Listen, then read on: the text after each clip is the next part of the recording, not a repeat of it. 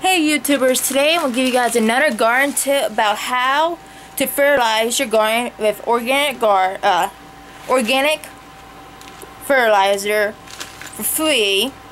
It's also free of trout fish. You put your fish and you defrost it and you dig a big hole in your garden and you place the fish in the hole but you cover it back up and over time it fertilizes your ground and all that. Now you have fish or raccoons nearby better not do that.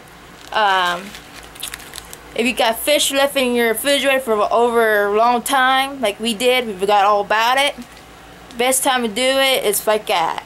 So subscribe comment rate bye. Where is it